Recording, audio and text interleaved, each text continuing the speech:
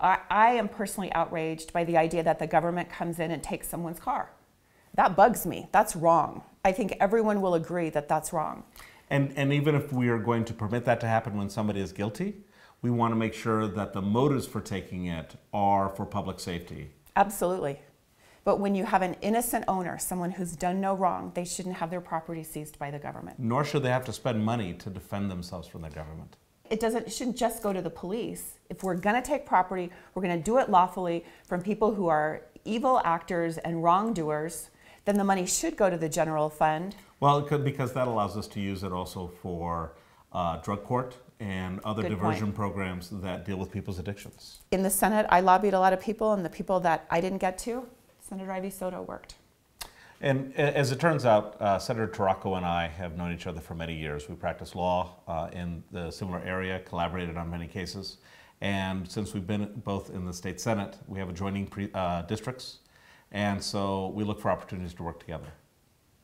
This is a bill that um, was supported by every state senator and every House member, regardless of geography and regardless of party affiliation. It's not a power and control thing. It's the fact that civil forfeiture is wrong. It passed the New Mexico state legislature unanimously, and yet no one is willing to follow the law. That's what it's about. It's not about us as legislators thinking you have to do what we say. No, forfeiture is wrong. We know it's wrong, and the municipalities have decided they want the money, so they're going to keep taking and keep taking. That's the bigger problem. Do you agree? I do agree, and I and I think that that part of what happened in our legislature is everybody came together recognizing that an injustice was happening at the city level, and we worked together to solve that problem. A key component of this bill was that the uh, proceeds from a criminal forfeiture go to the state general fund.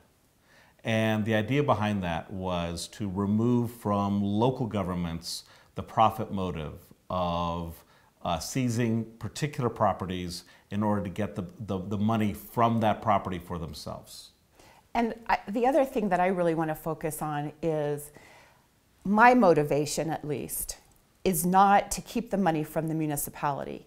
My motivation was there are innocent people out there who are having their property taken by a government and there's no recourse for them. To me, it was that individual liberty that I believe we were fighting for in the legislature.